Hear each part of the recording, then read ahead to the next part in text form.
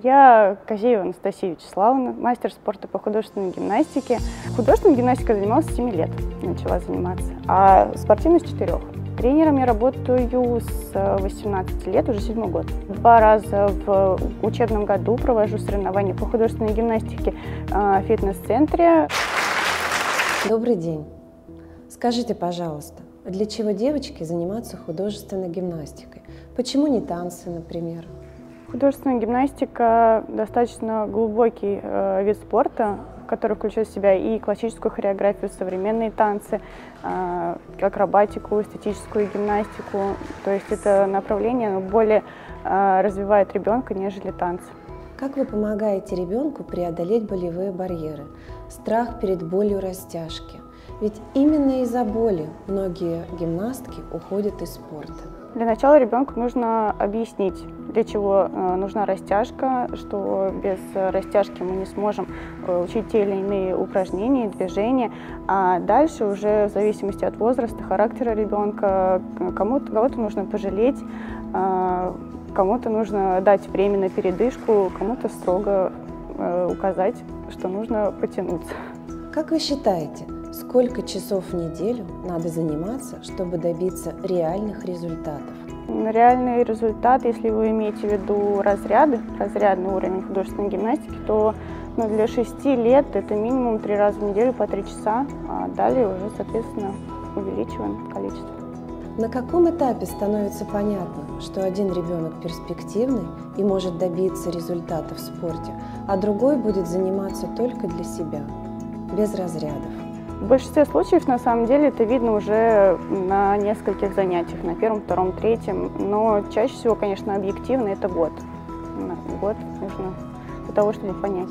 Вы сообщаете свои предположения о способности ребенка родителям? Да, конечно, сообщаю. Если это перспективный ребенок, то а, обязательно даю какие-то наставления, пожелания свои а, по поводу тренировок, по поводу количества тренировок.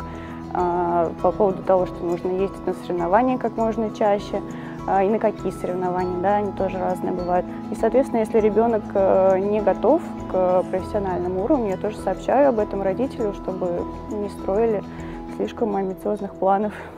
Как вы считаете, в каком возрасте нужно начинать заниматься художественной гимнастикой? А в каком возрасте отдавать ребенка в спорт уже поздно? А для любительского уровня в любом возрасте можно начать. Абсолютно, если заниматься для себя. У меня были такие дети, которые заним... начинали в 11 лет заниматься, и в 9 без проблем. А если говорить опять же про разрядный уровень, то 4 года это оптимальный возраст. А 8-9 лет это уже поздно. Скажите, пожалуйста, были ли у вас дети, которые уходили к другому тренеру, а потом возвращались к вам? Да, были и до сих пор занимаются у меня. Тренер – это неизбежный вариант пенсии для профессионального спортсмена? Или почему вы стали тренером? Нет, неизбежный. Тренером нужно родиться, так же как учителем. А, не каждый профессиональный спортсмен может стать хорошим тренером, так же как хороший тренер не всегда профессиональный спортсмен. А, я стала тренером на самом деле достаточно просто. Меня позвали заменить тренера, когда та была в декретном отпуске. И настолько я поняла, что не могу уже жить без э, художественной гимнастики, что осталась здесь надолго. Вы помните, как звали вашу первую ученицу? У меня их было в группе 15 человек, поэтому ну, кого-то помню, к сожалению, не всех уже, но некоторых.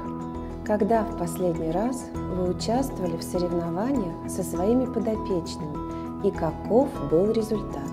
В конце декабря 2021 года мы участвовали в областных соревнованиях в городе Руза. А, достаточно серьезные соревнования для фитнес-центра. А, вот, наверное, это самые крупные соревнования, в которых мы принимали участие.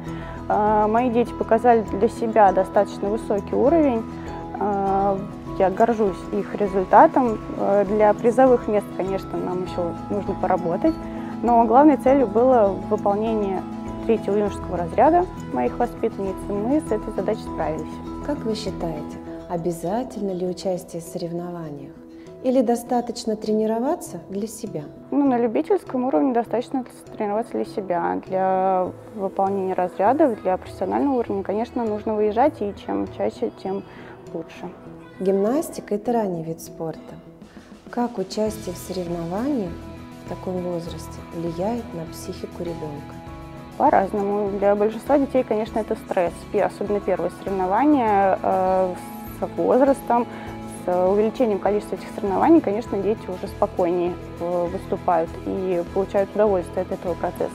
Но есть такие дети, которые уже с первого выхода на ковер получают удовольствие и не доставляют никакого абсолютно стресса, и они кайфуют, можно так сказать, на площадке.